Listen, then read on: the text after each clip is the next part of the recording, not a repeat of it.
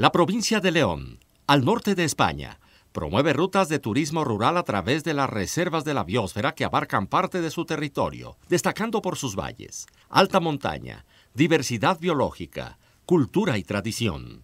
La región perteneciente a la comunidad de Castilla y León cuenta con siete reservas de la biosfera en constante conservación natural y en las que, como dicen algunos de sus lugareños, el paisaje marca el carácter de la gente.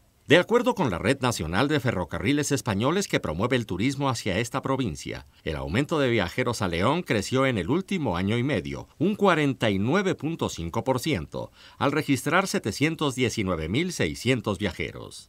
Las reservas de Ancares Leoneses, La Siana, Bavia, Omaña y Luna, Alto Bernesga, los Argüellos y los Picos de Europa conforman las biosferas leonesas y un 20% del territorio de la provincia.